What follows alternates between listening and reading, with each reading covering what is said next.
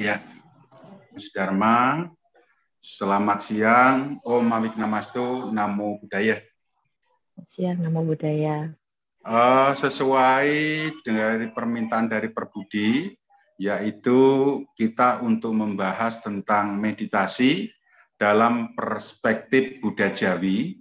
Nah, jadi sebelumnya, seperti biasa, kami mohon kepada Jero Mangku Sugianto untuk memulai Kidung Semedi. Monggo. Terima kasih Romo Budi Kumara. Kidung Semedi uh, kami lanjutkan.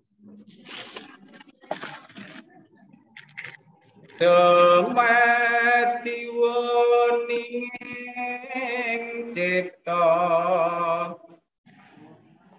Wening ciptaning gale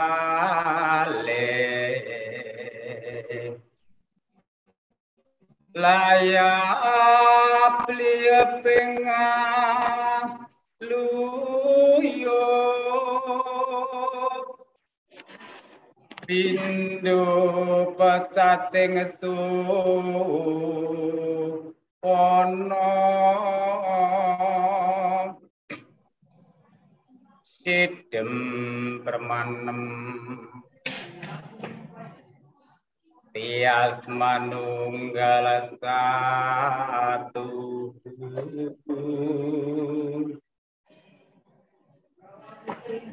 Manunggal kaping kapujan. Nang sampurnaning urip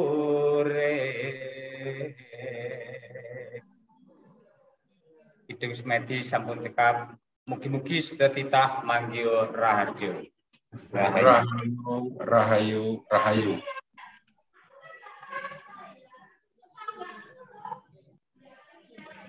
Uh, Romo Ibu serta saudara kami sedharma dalam agama Buddha itu banyak yaitu mohon maaf suara saya bisa didengar jelas Romo bisa Romo bisa. oh oke okay. dalam agama Buddha dari tradisi Buddha Gotama sebelum uh, Buddha Gotama mengajarkan ajarannya kepada para siswa bahwasannya saya nyatakan belum pernah ada makhluk baik itu Brahma, dewa, naga, gandarwa, yaksa, asura dan manusia yang mampu menandingi yaitu praktek meditasi yang dilaksanakan oleh Pertapa Gautama atau Bodhisattva Siddhartha Gautama. Setelah hal itu, Sang Buddha mencapai tingkat kesucian. Beliau yaitu melakukan meditasi di bawah pohon bodhi dan pada umumnya ajaran itu dikenal dengan meditasi samata bawana yaitu tujuannya untuk mencapai ketenangan batin terdiri dari 40 objek. Satunya yaitu vipassana bawana untuk mendapat pandangan terang, objeknya nama dan rupa. Setelah itu, ajaran agama Buddha berkembang sampai ke Nusantara, dan di Nusantara inilah agama Buddha diwarnai dengan adat budaya leluhur yang adiluhung Nusantara. Nah, untuk para rekan-rekan, Bapak Ibu serta saudara sedharma dan rekan dari Perbudi, dalam konsep agama Buddha, waktu manekung pujo atau melakukan samadhi Pertama yang harus dipahami yaitu setelah pikiran kita, ucapan kita, tindakan kita agar lunak, lentur bisa menerima vibrasi-vibrasi itu dan mengonsentrasikan pikiran pertama kali yaitu dengan melantunkan parita suci, mantra suci dan kidung-kidung suci. Setelah pikiran kita sudah mulai siap, Langkah selanjutnya yaitu mantra dalam agama Buddha begini, lenggah kanti setoto, asto katumpangaken wonten pangkon, pasuryan madem mengajeng, mandeng pucak pucuing grono, nutupi babahan hawa songo, ngukut poncondriyo, nenuwun dumateng yang suksmo ampreh katekan kang sinedya. Om Ahum. Jadi dalam hal ini mungkin saudara-saudara yang bukan orang Jawa, khususnya orang Tionghoa, itu maksudnya apa? Jadi intinya gini, duduk dengan rileks, dengan padmasana atau semi padmasana. Asto itu tangan, ya. Tangan itu di atas pangkuan, membentuk Diana Mudra. Membentuk Diana Mudra, jadi begini, saya contohkan. Om. Uh, menyentuh tenggorokan. Uh, um, membentuk jantung, terus puser. Um, terus Diana Mudra.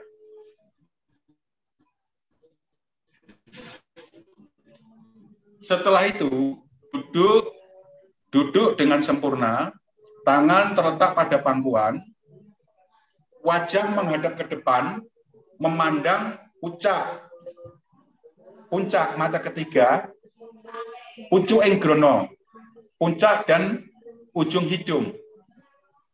Selanjutnya menutupi babahan hawa songo. Dua, empat, enam, tujuh, yang dua di bawah, di kundalini cakra. Yaitu di lubang kemaluan dan lubang pembuangan. Setelah itu, menutup panca indera. Panca indera yaitu terdiri dari unsur catur mahabuta, yaitu unsur api, unsur udara, unsur tanah, dan unsur air. Nah makanya kalau konsep orang Jawa, yang asli konsep orang Jawa itu sedakep asuku tunggal.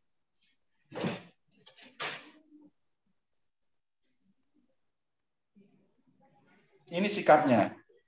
Seperti rupang mapati gajah mada. Rupangnya bisa dilihat kiri, kiri di dalam, kanan di atas. Ya, Nah, setelah itu, apa yang harus kita lakukan? Itu maknanya koindra, bahwasanya empat agregat, unsur api, unsur air, unsur tanah, unsur udara, pertama kali masuk melalui lubang yaitu plasenta ya. Ari-ari dari seorang ibu. Jadi sumber-sumber nafsu itu dari rahim seorang ibu ditransfer ke janin seorang anak lewat plasenta. Makanya menutup hawa nafsu yang terdiri dari sembilan lubang dan menutup panca indera agar tidak keluar. Karena pikiran akan diarahkan kepada yaitu keheningan. Sunyo, sunyi, senyap, suwung. Nah itu pertama kali mengenai meditasi yaitu Buddha Jawi. Untuk tahapan-tahapan dalam konsep agama Buddha Jawi kita disebut sembahyang. Sembahyang itu sendiri berarti manembah dumateng yang. Yang mana? Yang maha suci. Jadi itu ada tiga kriteria. Kriterianya apa saja? yaitu yang sering dilakukan oleh umum, yaitu sembah rogo. Saya yakin persaudaraan Buddha Jawi yang ada di Tritunggal ataupun di Kota Gajah, itu baru bisa sembah rogo. Belum bisa sembah cipto dan sembah roso. Yang dimaksud sembah rogo itu apa? Mungkin Jero Mangku Alit Anton bisa setiap saat ke wihara. Secara fisik raganya ke wihara tapi pikirannya ini membumbung ke mana-mana. Tadi kambingku sudah tak kasih rumput belum ya? Tadi nasiku yang di rumah udah tak tutupin belum ya? Nanti kalau dimakan kucing bagaimana ya? Nah, Romo Saji sama Pak Darsono yang senyum-senyum mungkin berpikir, sendalku baru beli dari supermarket atau dari mall. Jangan-jangan nanti diambil, ditukar sama Mas Surono atau Mbak Sis. Nah, inilah. Terus belum yang anak muda. Aku tak kewihara lah biar ketemu itu yang ganteng. Hmm? Cowoknya juga, aku tak kewihara lah biar ketemu si cantik. Nah, motivasi-motivasi ini dinyatakan baru Anda semua baru bisa puja raga atau sembah raga. Apakah Anda sudah merasa mumpuni? Oh, kalau saya ke wihara itu langsung bisa duduk diam. Pertanyaan saya, mungkin tubuh Anda bisa duduk diam, tapi bagaimana dengan pikiran Anda? Apakah sudah bisa didudukkan? Belum. Pikiran Anda liar ke mana-mana seperti pakai, liar, nakal, brutal. Mungkin Mas Santan juga berpikir saat ini, kok Romo Budi ngomong benar ya, kok kayak dukun ya. Itulah realita yang sekarang terjadi. Itu satu. Yang kedua, bila mana usia kita udah dewasa, motivasi-motivasi kewihara itu harus kita tinggalkan. Karena pada dasarnya setelah kita sembahyang, itu menciptakan cipta, pikir kita. Di saat kita mengucapkan parita atau mantra, bagaimana caranya pikiran, ucapan, dan gerakan itu menyatu, nyawiji. Inilah yang disebut cipta kita sudah menyatu dengan raga. Nah setelah raga dan cipta kita sudah menyatu, tujuannya kita ke wihara, Jangan sampai berpikir, Bu Darmi sama Mbak Sis, itu yang mimpin puja bakti kok kayak yang lawak ya. Sehingganya terjadi tertawa, hmm? terus ngobrol sendiri. Nah, hal-hal ini kan sering kita dapati di wihara. Yang di depan menyampaikan dhamma wacana, yang di belakang juga membahas dhamma wacana.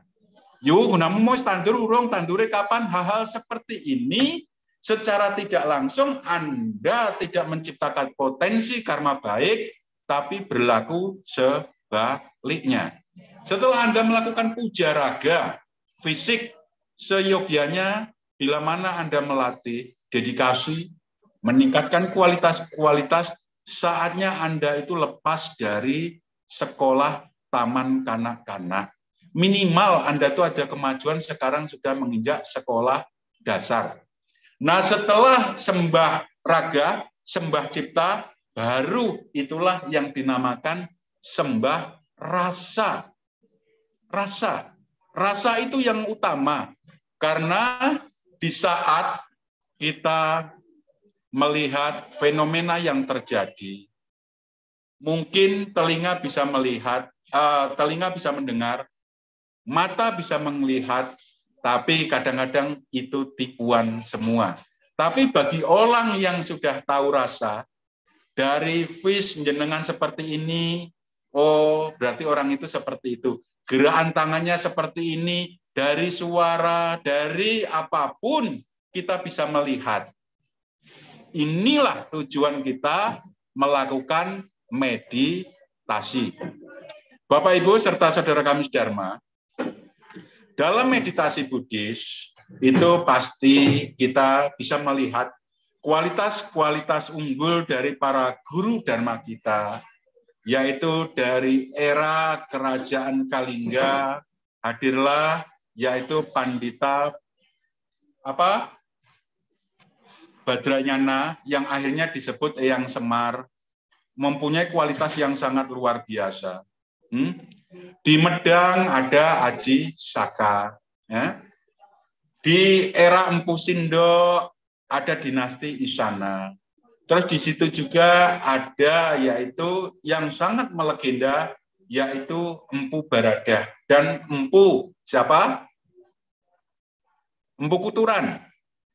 Nah, untuk sekarang saya ingatkan bahwasanya Empu Kuturan itu kakak kandung dari Empu Barada Beliau mempunyai istri yaitu Girah karena berasal dari desa Girah. Sama-sama mengelajari ilmu meditasi Ngrogo Sukmo, Raga Sukma, sehingganya beliau menyimpang. Bisa meneluh pagi sakit, sore mati, sore sakit, pagi mati. Dan inilah terjadi COVID ini sama dengan pagebluk di era janda girah. Nah, apa yang terjadi dengan kemampuan CD? Empu Baradah mampu menaklukkan hal itu. Karena rasa malu yang luar biasa, Empu Kuturan pun pindah dari Jenggala ke Bali. Nah, terus anak cucu dari Rangda, calon arang inilah banyak lari ke Belambangan. Belambangan itulah yang disebut Banyuwangi atau Osing. Nah, yang dari Banyuwangi hati-hati bergaulnya, selip sedikit disantet karena orang Jawa itu mampu membunuh tanpa menyentuh. Oke? Nah, sebagian itulah lari ke Belambangan, Banyuwangi dan ke Bali dan sebagian di Kalimantan, makanya ada di Kalimantan itu kunyang, di Bali lea, di Banyuwangi santet, pelet dan ngepet. Hal-hal ini sebenarnya semua ajaran leluhur kita yang disebut tantra yang ngiwo, bukan yang nengen. nah, di situ pun waktu itu Mpu Baradah menanya kepada Prabu Erlangga. Prabu Erlangga, anakmu kalau bisa jadi raja di Bali. Tapi oleh Sang Sri Udayana, atas nasihat dari Empu Puteran tidak dikasih izin. Sehingganya Empu Baradah kembali ke Pulau Jawa menciptakan gempa bumi yang sangat luar biasa dengan daya cipta dan rasanya Sehingganya Pulau Bali, Pulau Lombok terguncang dan terbelah. Tapi Empu Kuturan pun tidak kalah sakti. Adikku ini memamerkan kemampuan olah pikirnya. Kalau memang kayak gitu, dia akan kembali ke Jawa. Saya bikin gelombang yang sangat luar biasa. Sehingga kibasan ekor naga besuki membuat tsunami di Pulau Jawa. Pecahlah pulau itu sehingganya Empu Barada kembali kepada Empu Kuturan dan mereka saling berangkulan bersalaman bahwasanya kakak dan adik mempunyai daya linguik yang luar biasa. Itu sedikit cerita biar jenengan tidak ngantuk karena jam-jam segini setelah makan, setelah ngopi biasanya Romo Saji langsung tertidur pulas. Selanjutnya kemampuan-kemampuan dari leluhur kita di era Wilwatek Tapura, di era Singosari, bahwasanya leluhur-leluhur kita diturunkan oleh Pratnya Paramita atau Kendedes ya. Nah, di situ lahir juga yaitu seorang empu yang sangat luar biasa yaitu Pandita Purwa. Empu Purwo dari Ponowijen.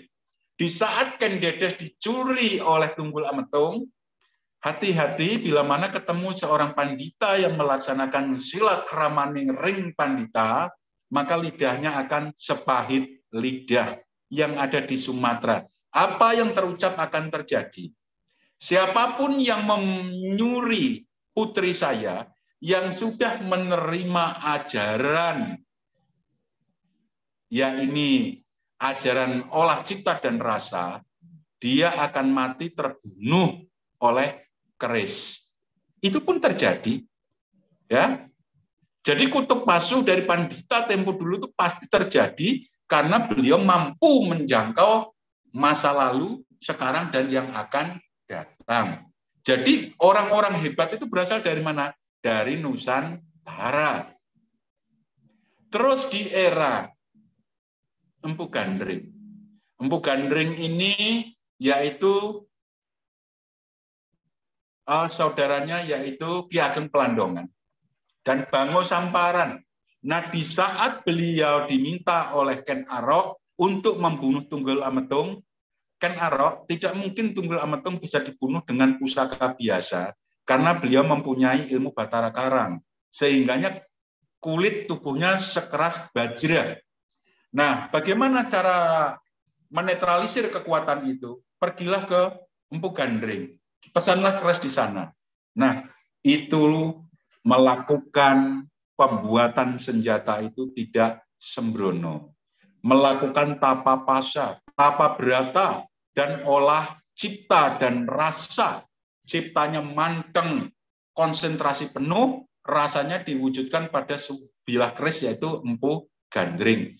Tapi apa yang terjadi? Keris itu belum jadi diambil oleh Kenarok, ditujahkan ke ulu hatinya yaitu empu gandring. Terjadi kutuk pasu, Kenarok tujuh keturunanmu akan terbunuh oleh keris ini.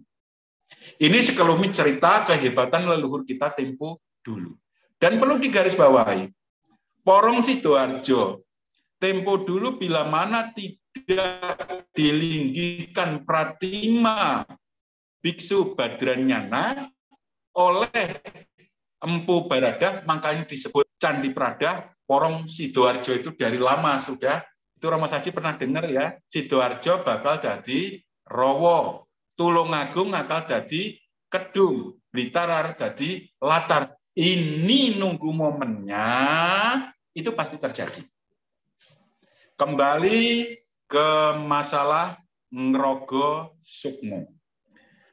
Yang jelas setelah Wilwatik Tapura lantak diinvasi oleh Kesultanan Demak Bintoro yang diperakarsai oleh Raden Fatah atau Fatahillah, ajaran-ajaran ini dipertahankan oleh para leluhur sehingganya yang masih eksis mempertahankan ajaran Siwa Buddha ini lari ke pelosok-pelosok perkampungan dan di puncak-puncak pergunungan.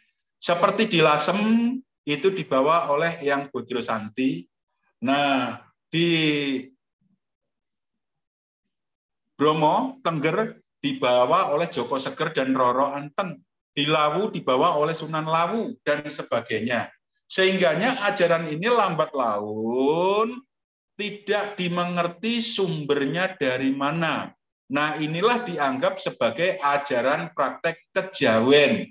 Sebenarnya kejawen sendiri itu berasal dari agama Buddha tempo dulu. Makanya orang kejawen itu disebut Buddha ya.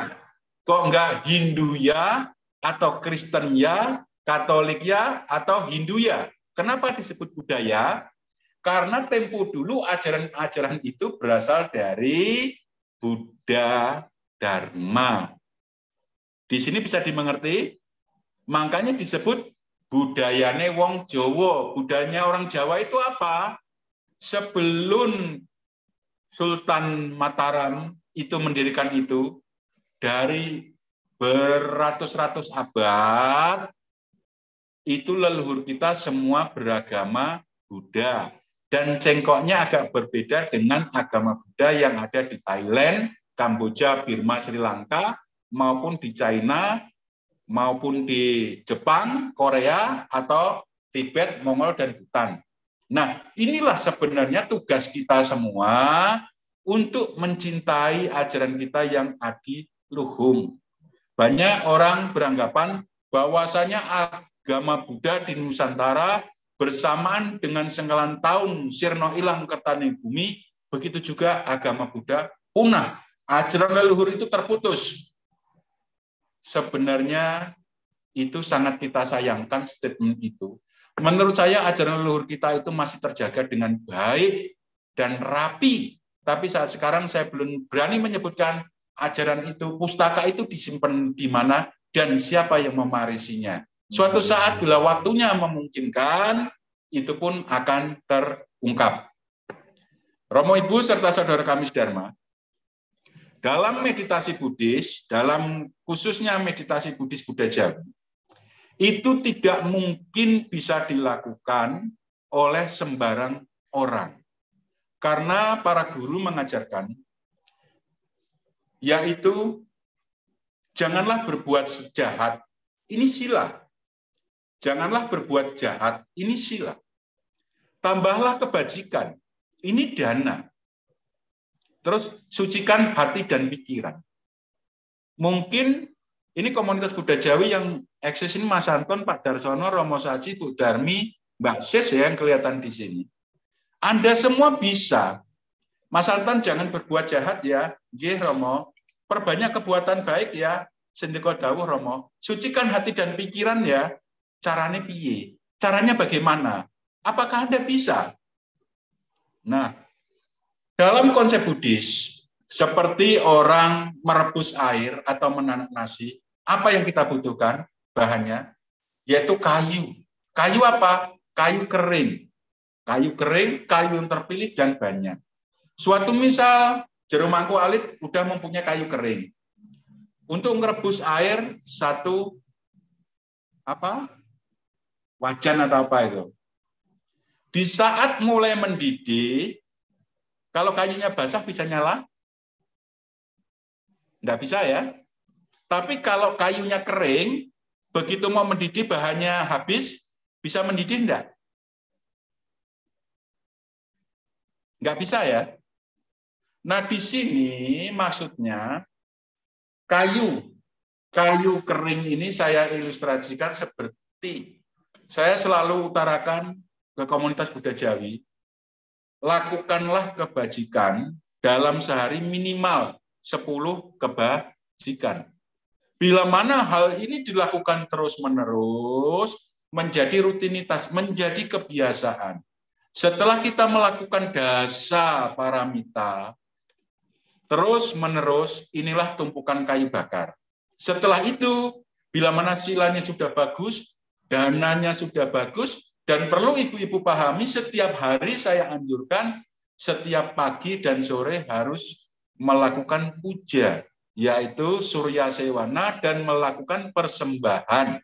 Nah, bila mana ini terus-menerus dilakukan, sehingganya pikiran kita dipenuhi dengan cinta kasih, welas asih, dan kasih sayang, ucapan kita selalu menyejukkan dan menyuarakan kebenaran, setelah itulah saatnya untuk melatih meditasi weninge, cipto, roso, dan karso. Tanpa Anda mempraktekkan kebajikan, tidak mungkin meditasi bisa dilakukan. Kenapa? Di saat kita duduk, tep, kemarin aku lewat pengen makan jagung, tetangga ada jagung, saya ambil, saya rebus apa yang terjadi begitu Anda meditasi untuk menutup objek dari luar yang terjadi objek itu malah masuk di kepala dan hati kita seperti kita di tengah pasar.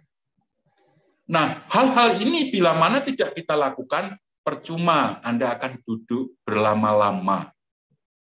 Intinya untuk Bapak Ibu serta saudara kami Dharma, untuk praktek meditasi yang utama laksanakanlah yaitu kebajikan. Minimal 10 kebajikan dalam sehari. Lantunkanlah kita kidung pujian kepada para Buddha dan para Buddha. Dan itu harus diimplementasikan dalam kehidupan sehari-hari. Nah, tahapan selanjutnya setelah itu Anda harus yaitu memilih tempat. Seperti mungkin Ko Indra yang biasa naik motor atau mobil di perkotaan, awalnya pun butuh berlatih. Ini starter, ini kontak, ini gas, ini gigi. Suatu misal belajar langsung di tengah jalan, apa yang terjadi? Menyelakakan diri kita dan orang lain. Itu butuh proses, butuh tempat khusus di tengah lapangan. Setelah di lapangan sudah piawai, baru di jalan setapak. Jalan setapak baru jalan besar, baru di jalan tol. Jadi bisa melindungi diri kita sendiri dan tidak membahayakan bagi orang lain. Tempat ini sangat diperlukan. Tapi mungkin ada yang bertanya, Romo, katanya kalau meditasi itu tidak mengenal tempat, waktu, dan keadaan. Ya oke, kalau emang kayak gitu, jenengan meditasi aja di tengah jalan tol. ya Atau di tengah pasar. Mungkin praktisi-praktisi Zen atau pandita-pandita leluhur kita tempo dulu mampu melakukan itu. Tapi kita harus sadar diri, harus introspeksi diri, kita tuh siapa? Diri kita masih dibelenggu oleh kebodohan dan kekotoran batin.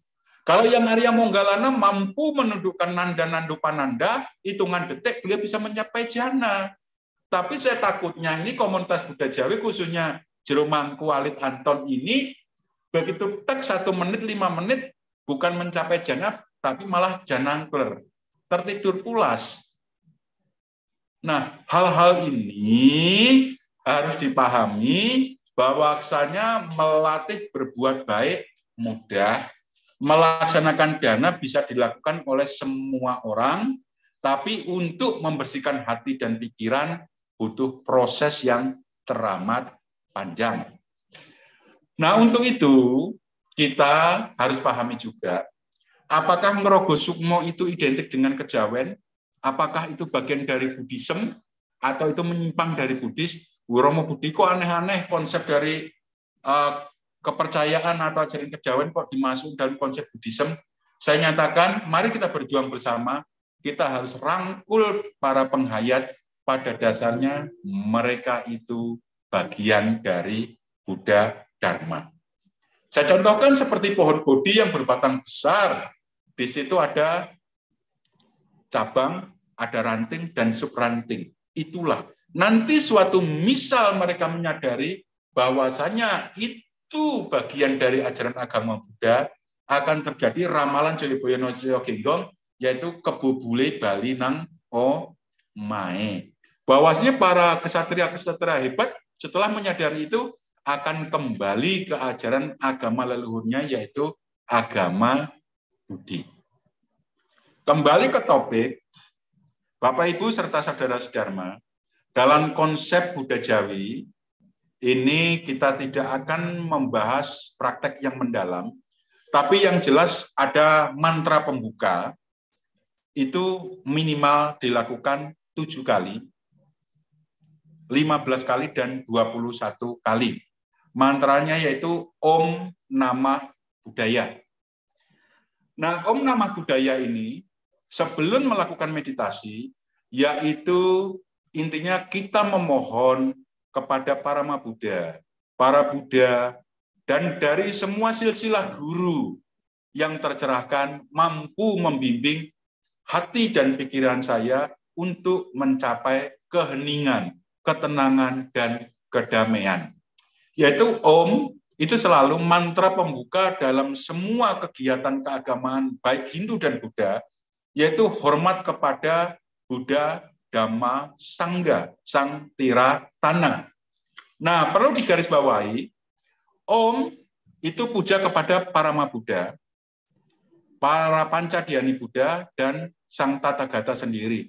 Hormat kepada Buddha, Dhamma, dan Sangga Hormat kami kepada Buddha lampau di Pankara, Buddha sekarang Gautama Sakyamuni, Buddha yang akan datang yaitu Maitreya. Itu puja yang pertama dilakukan.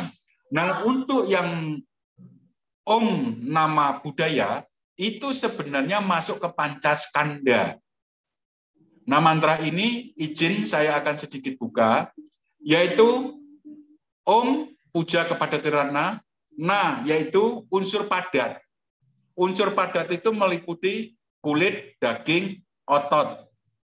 Ya, atau disebut pertiwi yang berwarna hitam. Terus na, ma atau na, mo itu unsur api atau apa? Bawahnya di tubuh kita itu ada unsur panas, yaitu berasal dari unsur api. Dan ini salah satu nanti yang kita kembangkan menjadi objek meditasi yang sangat luar biasa. Om Nama Bud. Bud itu cahaya. Cahaya penghapus saput ketidaktahuan dan kegelapan batin. Yaitu cahaya itu teja. Om Nama Buddha. Nah, da itu udara atau bayu yaitu yang menghantarkan pikiran kita agar senyap, sepen, suwung. Nah setelah itu, yang terakhir yaitu ya, om nama budaya, yaitu ya itu ruang. Ruang. Ruang atau akasa. Akasa. Nah, untuk hal ini nanti ada beberapa mudra-mudra yang harus dipahami. Itu bagi bagi sadaka. Bagaimana kalau kita melafalkan suatu misal Om A Hong Nama Buddha Ya. Ya. Nah, itu yang disentuh itu tidak asal menyentuh, harus dimengerti putih, merah, hitam. Ya. putih tadi yaitu Batara Sri Wairo Cana. Karena segala macam sabda yang keluar dari pikiran itu disimbolkan bahwasanya Buddha sedang membabarkan dharma yaitu dengan mudra dharma cakra mudra.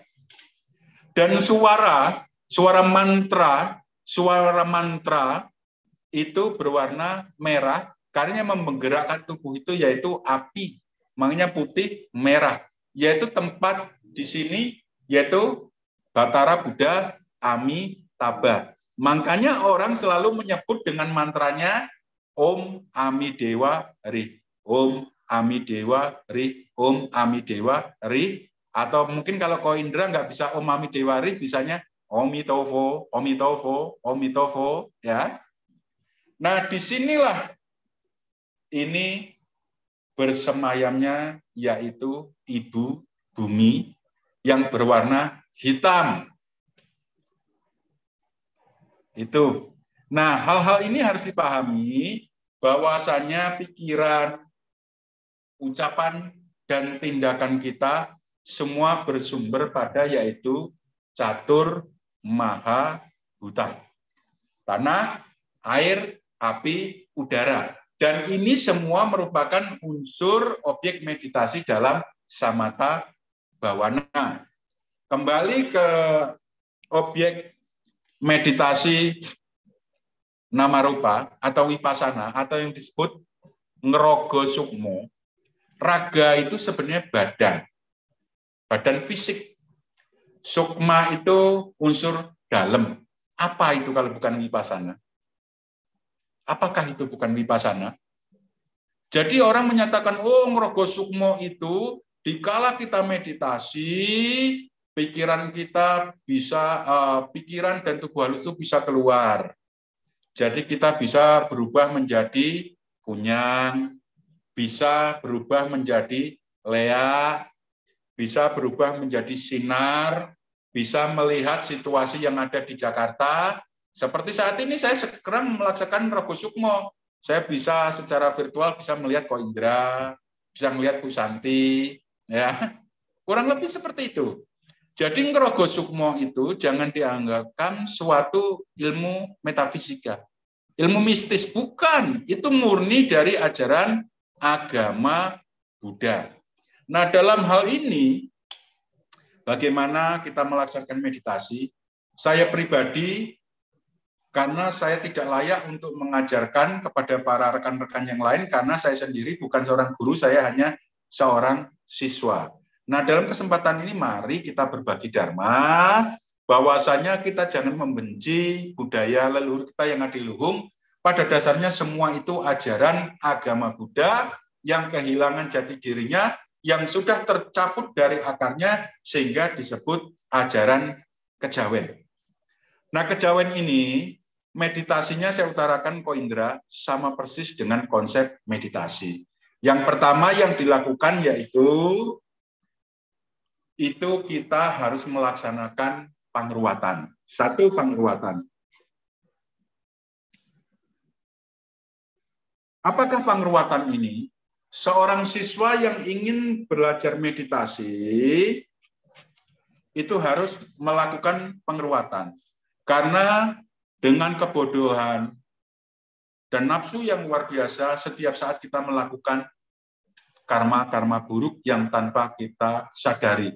Hal ini terus-menerus dipupuk, inilah yang menyebabkan kebodohan dan kegelapan batin. Setelah pengeruatan, yaitu sesi kedua pertobatan. Pertobatannya bagaimana? Seorang yang akan setelah diruat, ini ruatannya panjang kok Indra, karena ruatan dari lahir itu ada karma buruk, dari bawaan, karma masa lampau, karma yang terjadi sekarang itu harus kita ruat dulu. Setelah kita ruat yang disebut sudomolo, sudomolo itu sudah itu mengurangi, malah itu karma buruk. Jadi sudah malah yang dilakukan oleh sutasoma itu sebenarnya sudah malah itu mengurangi memolo, penyakit, halangan. Itu harus kita ruat dulu. Di ruat ini juga percuma Bapak Ibu serta saudara sedharma, kalau cuman diruat secara fisik, tapi pikiran, ucapan, tindakan tidak dirubah, saya nyatakan percuma. Karena setelah diruat ini, Anda mengalami kemalangan, musibah, karma-karma buruk itu karena perilaku Anda, ucapan, dan pikiran Anda tidak benar. Setelah kita ruat, tinggalkan karma-karma buruk, merasa hidup seperti orang baru. Setelah itu melakukan pertobatan.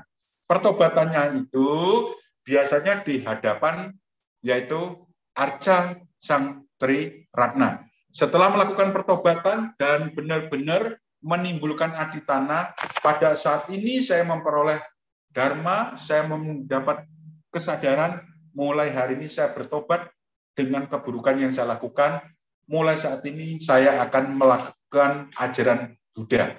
Setelah itulah tahapan terakhir, yaitu wilujengan.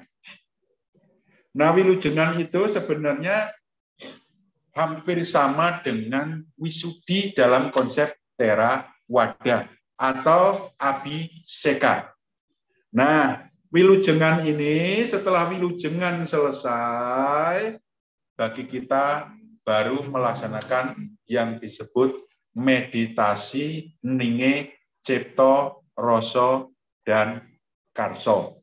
Terus untuk pantangan-pantangan Bapak Ibu serta saudara Segarma, bila mana Anda ingin melatih meditasi dengan baik dan benar, itu seyogianya seperti jerumangku alit Anton pernah saya siksa selama 21 hari untuk melakukan meditasi dan terakhir itu tanpa makan, tanpa minum, tanpa tidur.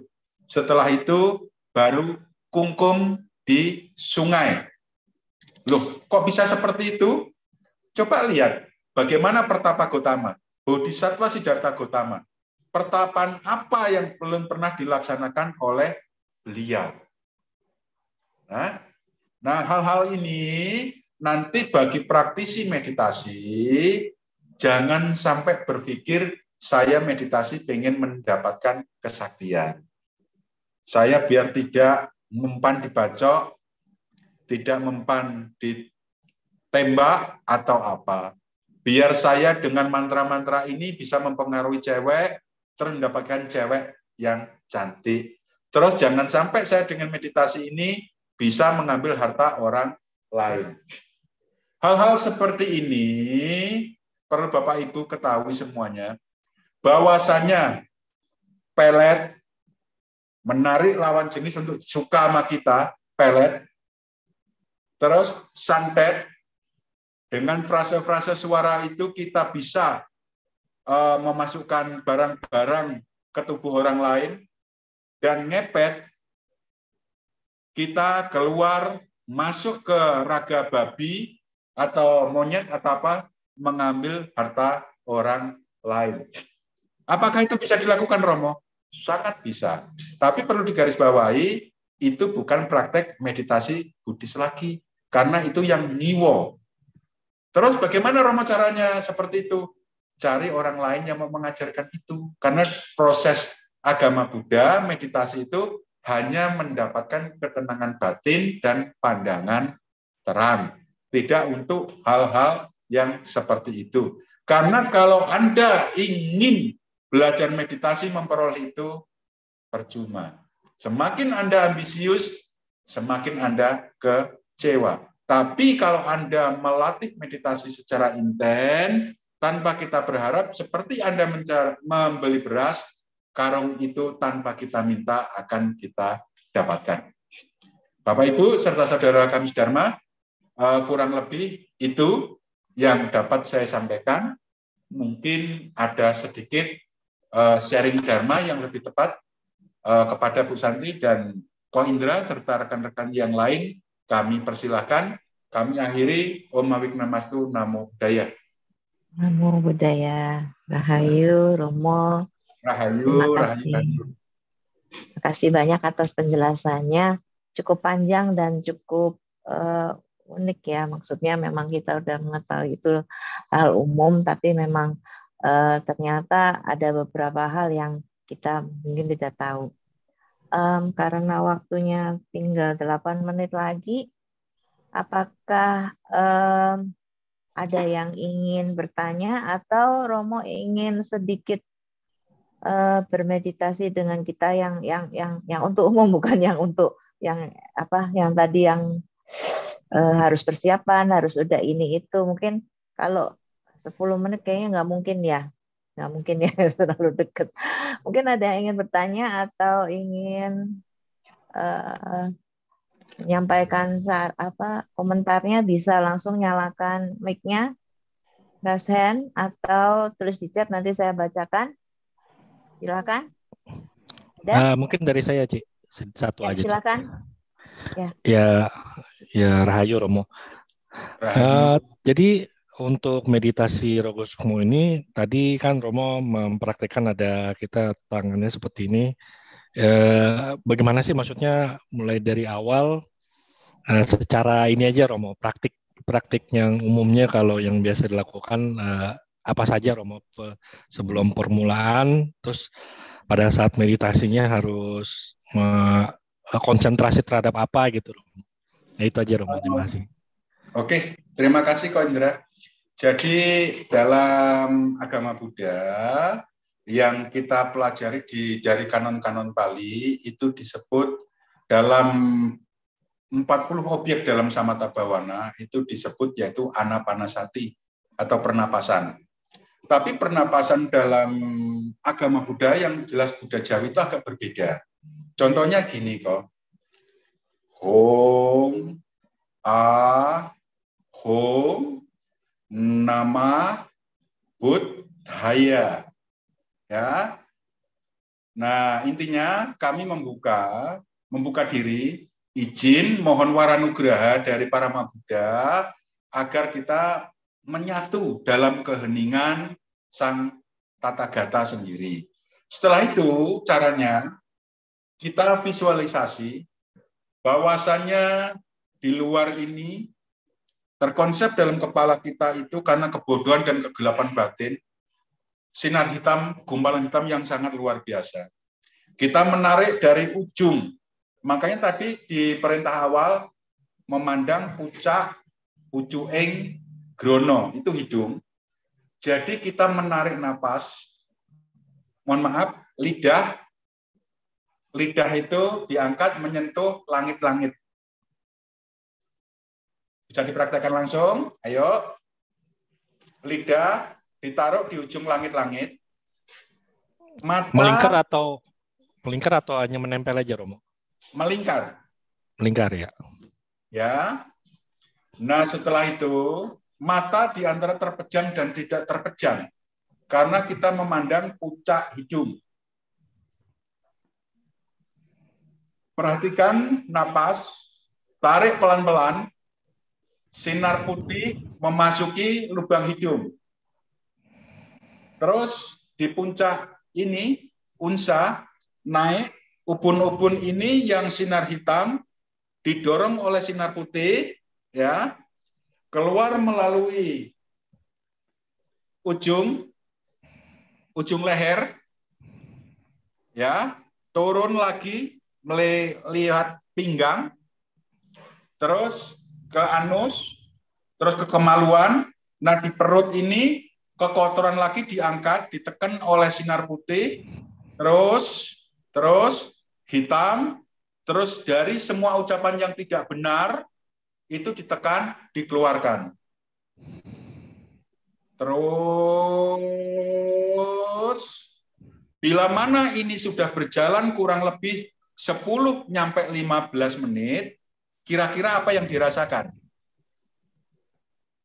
Jadi pantat, ya, kundalini cakra kita sudah mulai panas. Di saat panas ini jangan berhenti untuk melatih diri, karena panas ini cakra kundalini sudah mulai bergerak, berputar. Terus menerus. Nah, nanti sekujur tubuh akan merasakan hawa hangat. Hangat, panas terus menerus terus menerus sinar putih terus masuk sinar hitam, biru, merah dikeluarkan terus-menerus. Bila mana pikiran kita sudah bisa disimbolkan, divisualisikan menjadi putih, ucapan kita sudah terang benderang, hati kita sudah putih, terus. Jadi visualisasi berhenti, tinggal kita memperhatikan antara ini, ini, dan yang di dasar. Hangat terus disadari, disadari terus menerus, seterus menerus. Bila mana kita sudah mencapai ketenangan, itu kita tidak perlu berpikir, kita tidak perlu ber ini karena kita situ sudah masuk dalam rasa, yaitu rasa sepi, senyap, sepen, hening.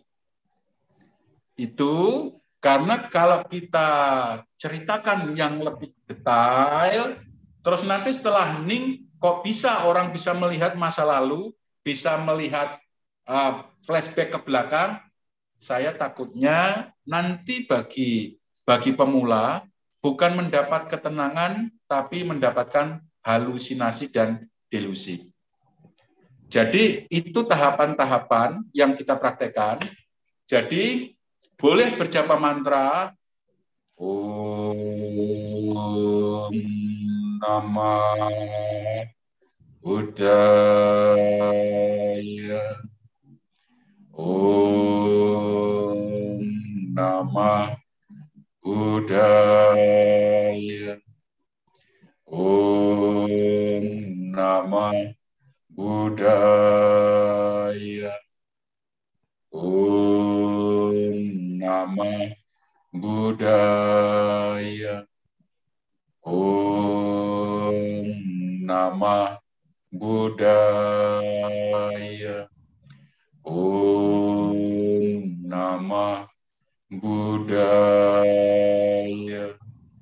Om Namah Budaya Om Namah Budaya.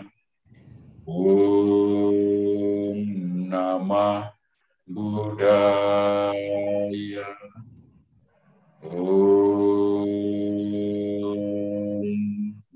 Nama budaya mugi sedaya manggio raharjo. Rahayu rahayu rahayu. Rahayu Romo. Kurang lebih seperti itu prakteknya Koindra tapi yang jelas durasinya tidak cuma satu dua menit. Bisa satu jam bisa dua jam. Karena bagi pemula seperti kita tidak mungkin dalam hitungan menit kita mampu mencapai ketenangan. Makanya itu butuh latihan yang intens. Itu sementara waktu jawaban dari saya, Ko Indra. Iya baik Romo, terima kasih. Terima kasih Romo Rahayu.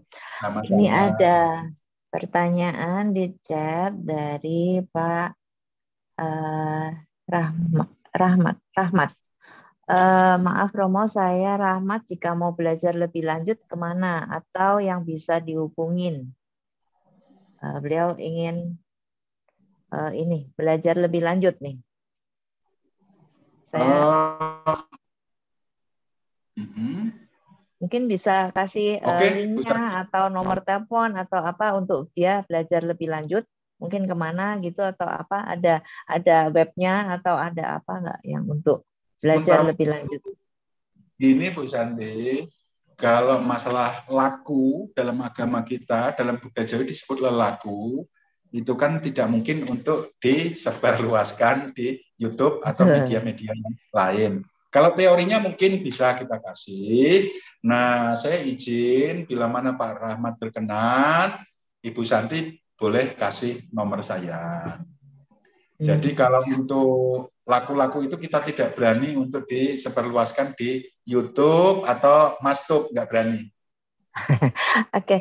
uh, eh, karena saya juga belum kenal dengan Pak Rahmat, mungkin Indra bisa bantu ya uh, chat pribadi ke Pak Rahmat untuk uh, nomor-nomor nomor Budi ya. Bisa begitu?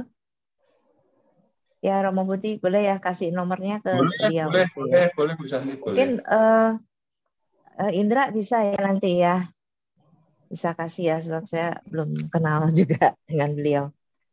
Iya. Uh, uh, boleh japri aja nanti ke saya, uh, Pak Rahmat. Terima kasih. Oke. Okay.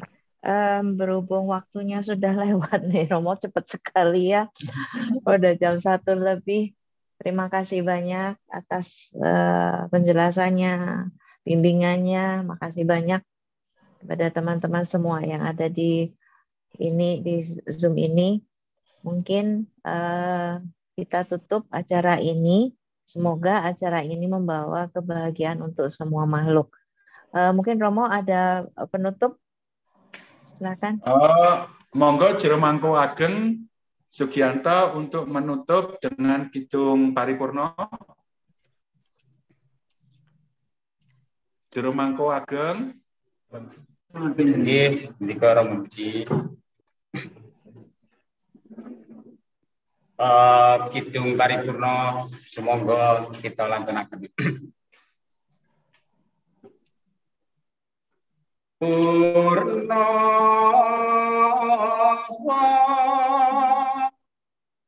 sampun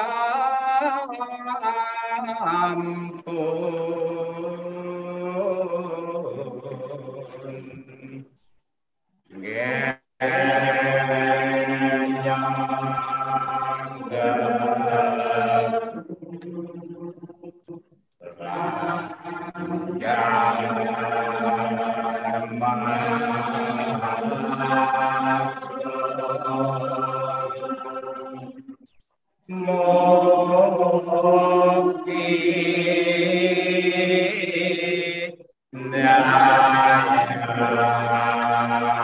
Oh,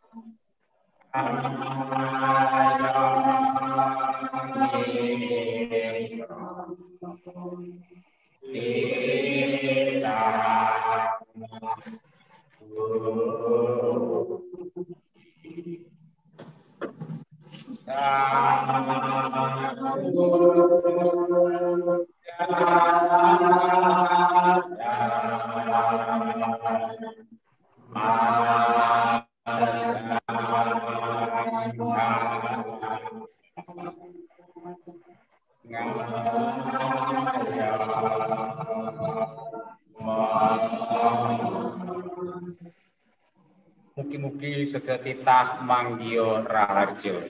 Rahayu. Rahayu. Rahayu. Om Om Buddha Sampurnaya Nama Swaha. Om Om Adi Buddha Paripurnaya Nama Swaha.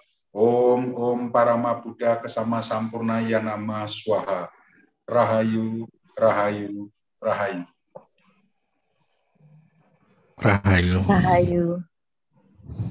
Terima kasih banyak Romo. Terima kasih uh, dari umat Buddha Jawi Tritunggal, dari Wihara Buddha Triratna, dan semua teman-teman yang bergabung di sini. Uh, kita akhiri acara ini sampai ketemu di lain lain waktu, lain acara.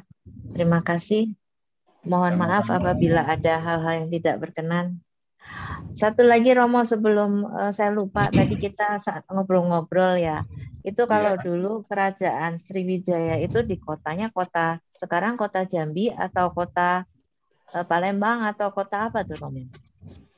Uh, mohon maaf Bu Santi sebelum saya jawab, Ibu Santi minta versi dongeng, ya, legenda, sejarah atau dari para praktisi? Beda-beda ya? Beda-beda. Hmm, yang benarnya kalau, apa? Kalau sejarah umum, sejarah umum itu menyatakan bahwasanya kerajaan Sriwijaya itu ada di Palembang. Oh. Kalau sejarah umum itu dinyatakan di sekitar Palembang. Itu diawali pada abad kelima dan runtuh pada akhir ke abad ketujuh. Kerajaannya meliputi yaitu Singapura, Malaysia, terus Kamboja, Thailand, Filipina, sebagian pulau Jawa, Kalimantan. Itu Bu Santi yang bisa saya jawab. Benar juga ya. Itu kalau itu. di Lampung, di Lampung itu yang dekat dari komunitas Buddha Jawi yang ada di Tritunggal, situs purbakala itu ada prasasti yang ditemukan itu abad ke-7. Jadi saya juga bisa berarti Bu Santi mengklaim bahwasanya kerajaan Sriwijaya itu ada di Lampung. Karena prasastinya pun ada. Ah. Berarti nggak nggak jelas ya itu di kota mana sebab itu begitu luasnya gitu ya?